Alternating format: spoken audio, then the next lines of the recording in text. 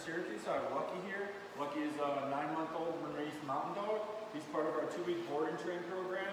Main issues at home, uh, chasing cars down the driveway, jumping on people as they walk through the door, um, and being a little uh, mischievous, taking things that he's not supposed to have, running around the house, things like that. Um, so I'm just going to show you guys what Lucky knows today obedience wise. Lucky, come. Sit. Good. Oh, no, sit. Sit. Lucky, sit. Sit. Oh, come. Come. Come. Good. Oh, good. Can you sit?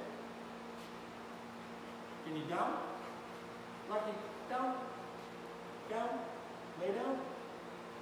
Down. So that's what Lucky knows today. Check back with us over the next two weeks to see his progress.